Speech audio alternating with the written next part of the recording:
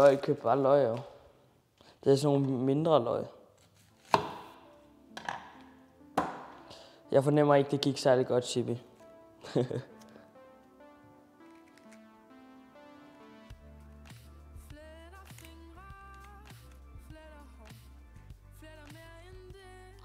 Lange tynde præcis.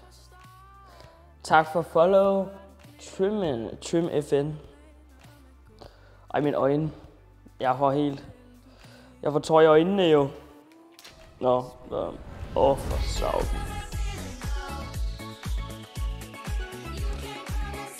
Jo, Trim FN smider follow og smider simpelthen et sub lige efter. Okay, god stil. Og Ralle, tak for at smide follow. Trim, hvor det... Okay, kæmpe god stil, mand. Tusind, tusind tak for det. Trim, tier 1 sub min vej, mand. Tusind, tusind tak. Velkommen til, som en af, af kokke-eleverne. Velkommen til, velkommen til. Tak for dit sub. Kæmpe. Det er jeg glad for. Hvad er det, du sender til mig? Okay, og Trim FN, okay. Kæmpe gigachat, vi har i chatten lige nu. Smider os lige et sub afsted til Alex Krig 22. Okay. Trim, vis dem. Tak for det, mand. Tusind, tusind tak. Så gjorde du også lige Alex til en solid øhm. Tak for det. Subgoal er den nye feature på Twitch. Der er da ikke subgoal, er der? Åh oh, nej, det håber jeg ikke. Åh, oh, det har jeg ikke stået fra. Sådan. Det der, det har vi jo lavet.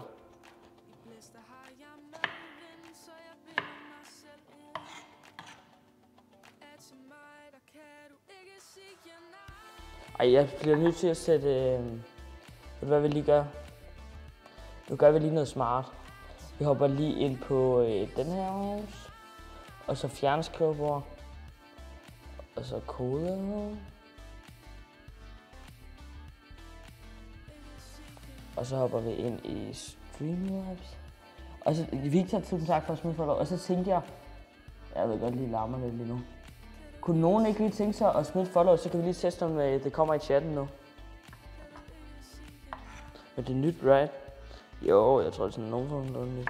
Lasse, tak for at smide et follow. Velkommen til. Godt at se dig. Godt at se dig. Så virker det jo.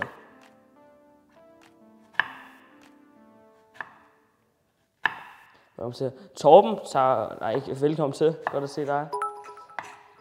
Nå, nu skal vi skrolle øjnene her. Og Trim FN første gang chat smed lige 100 bits. Okay, Trim FN. Du går altså amok, mand. Det er så imponerende. Lige followet, stopper, giver et stop, og så 100 bits. Tusind tak for det, Trim FN. Det er jeg glad for. Velkommen til. Stadigvæk krydderi. Der er jo faktisk nogen, der bruger sådan noget, altså brænder de noget af, og så bruger de det som et krydderi på, på mad. Godt nok i en meget lille grad, men så gør man det, på grund af, det kan give sådan en en bitter smag. Det er meget sjovt. Tror jeg ikke. Hvad tror du ikke, Mjørn?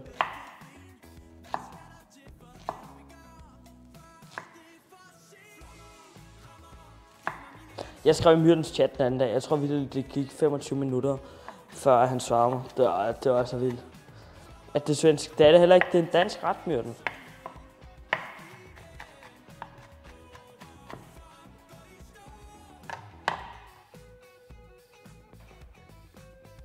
Det er fransk metode, man bruger. Hey, ej, hey, lange paroles. Godt at se dig, godt at se dig. Good to see you.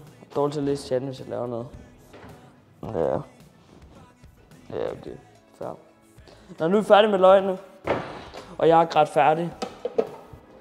Så lad os få øh, det her over. Hvad laver du? Udsat ret, Victor, og velkommen til.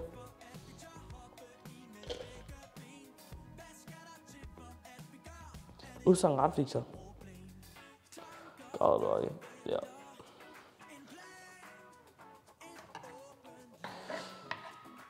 Er det ikke også okay at græde, eller hvad?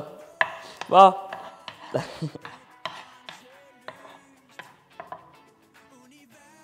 jo, jeg har lige, jeg er lige fundet ud af, at jeg får fuldtidsmåtte af Willy, på grund af Mark, han ikke svimer næste tre måneder. Næste. jo, fuldtidsmåtter.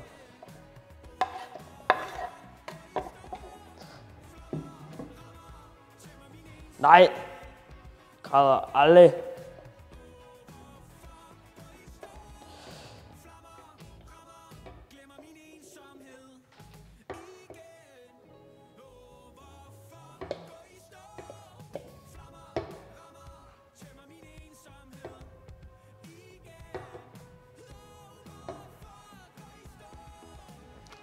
Også lige sammen med løg der.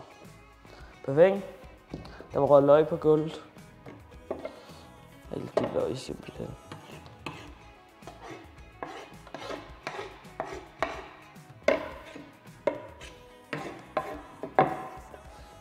Jeg laver en video i morgen, hvor jeg laver fufu. Siger bare til jer. Chatterinos. Jeg laver, jeg laver fufu på YouTube. Fufu YouTube video. Insta, jeg tror det er udtegnet Instagram. Og ind lige at følge, mand. Det vil jeg blive glad for. Der kommer også altid stream. Altså om der kommer stream derinde.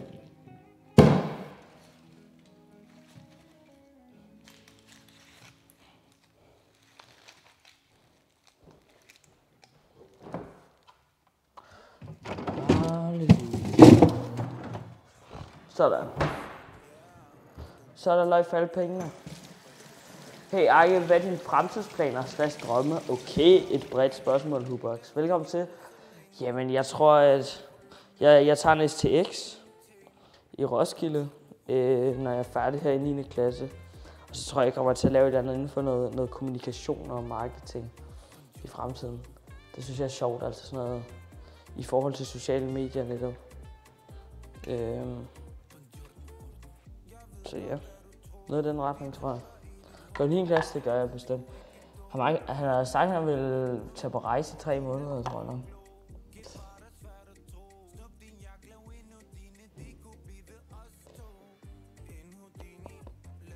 Nu laver jeg tre retters menu på stream. Det må blive sådan en nytårsspecial eller et eller andet. Fødselsdag special. Jeg har jo fødselsdag den 12. april.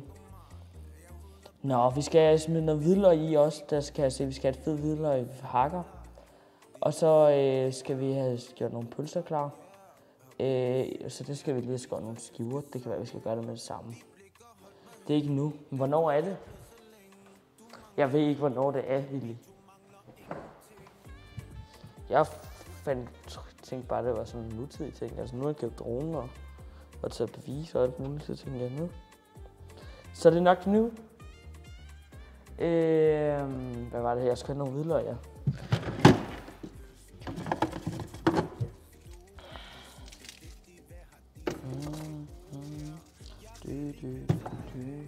Hvor skal I hen på sommerferie, hvis man ved det nu? Jeg skal, jeg skal til Læsø på sommerferie. Så tror jeg. USA, uh, fedt. Hvor hen i USA skal jeg hen? Jeg gad sygt godt at komme til USA. Arbejde, det er også lækkert.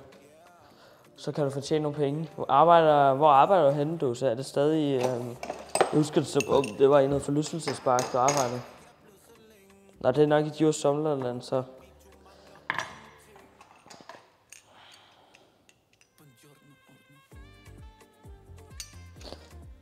Djurs Sommerland er vejen frem. Jo, marketing. Jeg har aldrig nogensinde i hele mit liv været i Djurs Sommerland. Jeg skal ændre. Træls. Eller det ved jeg ikke. Kan I bedst lide sådan en sommerferie, hvor man tager ud og oplever sygt meget, eller sådan hvor man er derhjemme og hygger? Er det svensk? Det er faktisk en dansk ret overgår. Skal flytte om to dage. Hvor flytter du hen? Altså hjemmefra? Nej, du bor ude, gør du ikke? Det ved jeg faktisk ikke. Det skal jeg ikke kunne sige. Du, du, du, du. Skal vi hente noget olie? Boom, boom, boom. Sådan. Skal vi lave nogle pølsekar. Bor hjemme, men flytter tilbage i den by, jeg boede i før igen. Så hvilken by er det? Er svensk pølseret svensk? Det er det ikke, Niklas. Smør vi det her 1 cm. Fin gang det her nede i kantinen på skolen. Og hold kæft noget lort. Det var vidderligt. De havde ikke skåret pølserne i skiver for det første. Så man fik den der blanding der, og så var det bare en rød pølse ovenpå. Det var altså nedtur. Så er de bare kogt sådan en rød pølse smidt i. Det gider man ikke. Altså, det er jo bare nedtur.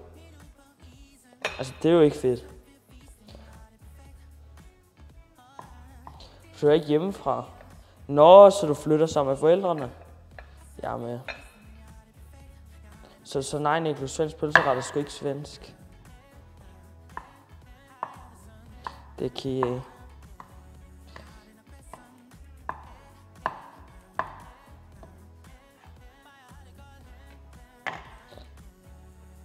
Bor I hjemme, eller er I flyttet hjemmefra? Gutter, mens. Seks pølser, så laver jeg kun en enkelt portion ud af. okay, Kellogg's. Mandemand, du er. Det ved jeg ikke. Jeg troede faktisk, altså det er længe siden, jeg har fået pølse, svensk pølseret, så jeg glæder mig til at se. Hvorfor er du ked af? Er jeg ked af?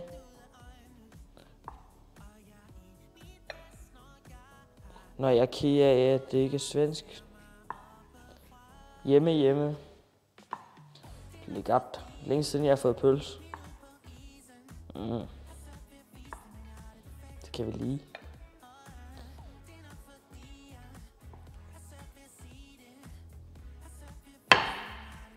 Er I klar?